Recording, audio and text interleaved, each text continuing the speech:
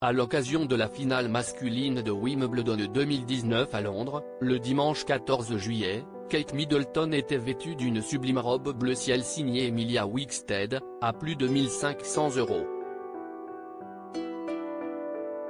Kate Middleton a, encore, fait sensation. La duchesse de Cambridge s'est rendue à la finale masculine du tournoi de Wimbledon 2019, qui oppose Roger Federer à Novak Djokovic, à Londres le dimanche 14 juillet. À l'occasion de cet événement sportif, la patronne du All England Lawn Tennis Club était parée d'une magnifique robe midi couleur bleu pastel, signée Emilia Wickstead, une créatrice londonienne. Ce vêtement au style années 50 coûte pas moins de 1390 livres, selon le Daily Mail, soit 1548 euros.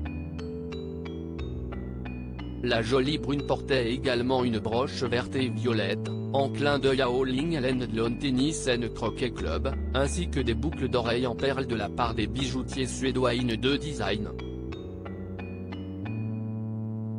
Le prince William, lui, était assorti à son épouse puisqu'il portait une chemise bleu ciel ainsi qu'une cravate dans les mêmes tons, sous une veste grise.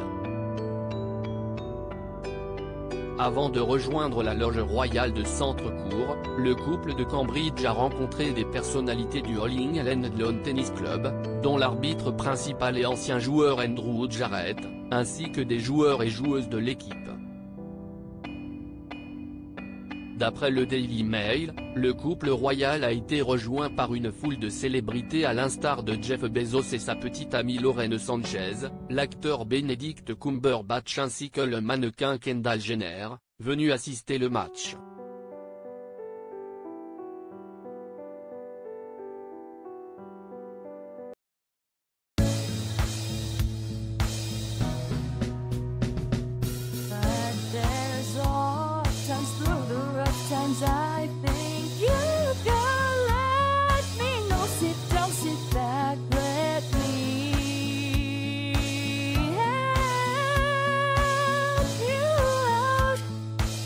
step